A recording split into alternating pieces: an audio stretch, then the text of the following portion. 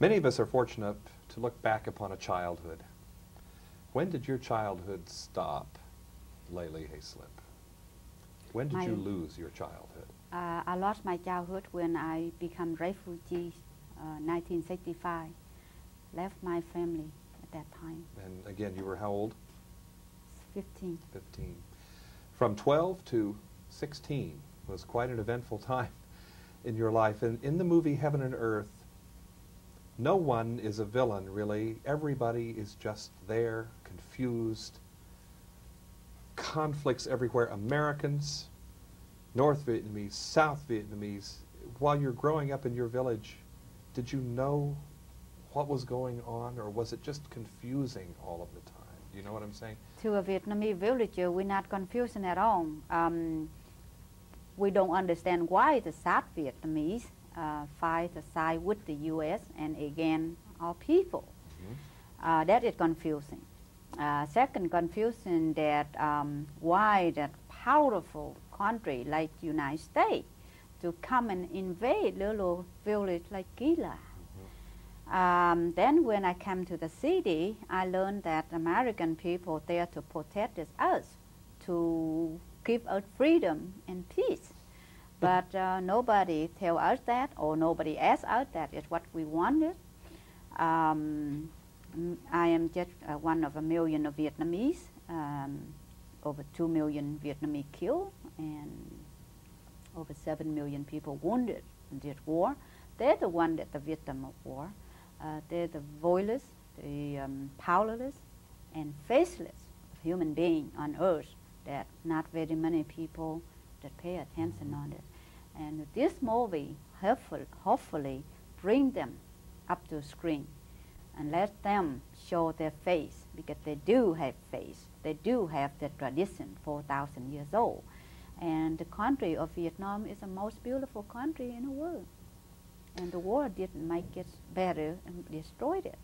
When you go back to rejoin your family in Vietnam, all of that is based on fact, Yes. correct? Yes. How long ago was that? Um, the first time I went back in 86, but I brought my three children back in 89. So according to all of uh, make everything simple, just put together, that is somewhere in 86. And the last time you saw your mother was then? No, last time I saw my mother three weeks ago. Oh, wonderful. Yes. Wonderful. I tried to bring her over here with my two sisters so that we can have world premiere on based on their life, their story. But um, United States government, because the trade embargo against Vietnam, did not allow her to come. So that is a very sad thing that today the war, to, according to Vietnamese, the war is over. They're so poor to concentration on anything more than just survival. But over here, a lot of hatred and the war with Vietnam is still going on. How important was it to you to go back to see your mother? It's very important because uh, according to our custom, um, without my mother, I wouldn't be here. Without being here, would n- I would not have my three sons. And so you always go back to your ancestor because that's where you come from and that's who you are today because of them. Now, has your father died or has he just gone on? He just went on and he will come back. It's going to be your children, going to be my children. Many times uh, in films now, I talked with Amy Tan recently, the importance of the reunion of generations. Yes. The coming together of generations in Joy Luck Club and now here. Is there something going on in our world where suddenly this is more important than ever before for all of us? Yeah, the people open their heart and their mind more now. The world is smaller and smaller and smaller now than it ever been. To give you a chance to recognize who I am and give me a chance to recognize you not my enemy. Bring the enemy together to make friends. Learn how to live with one another in peaceful terms, harmony with the planet and not war. Also, finally, there's a contrast here. In American movies, parents are stupid, children are clever. In your film, we have something to learn from the parents.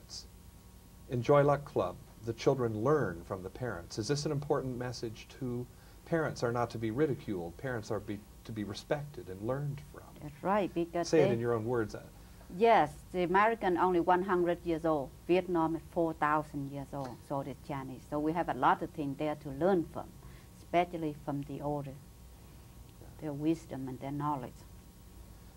One more question or am I done? I've lost track of my cues. Okay. Well, I want to thank you for your time to come and talk with us. And uh, your two books will be read more and more now by people after they've seen the film or before they've seen the film. Won't that be wonderful? Well, that is your job now. Pleasure to meet you. Thank you. Thank you. Le Ly Hayslip and I'm John Tibbetts, and we are in New York City for KCTV5.